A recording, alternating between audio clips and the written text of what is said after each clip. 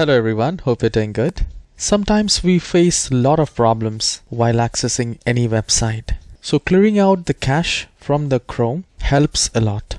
And it is a very simple process, yet we don't do it unless we see it. So let's get started. So open Google Chrome browser and at the top right corner, you see three dots. So we need to click on that. And then we need to go to more tools. Now here we have many options and we need to go to clear browsing data. And once we are here, we will get a window like this, which will have basic and advanced. Now I would recommend to go to basic and from here you can select the date like all time, last 24 hours, last 7 days.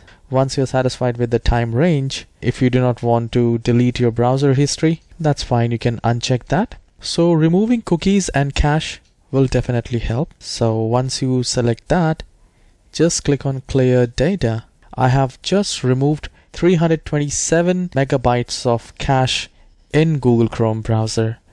So once I am done I just have to close the Google Chrome and reopen it and then you can try.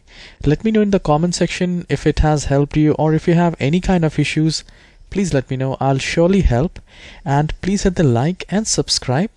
I'll see you in the next video. Have a wonderful day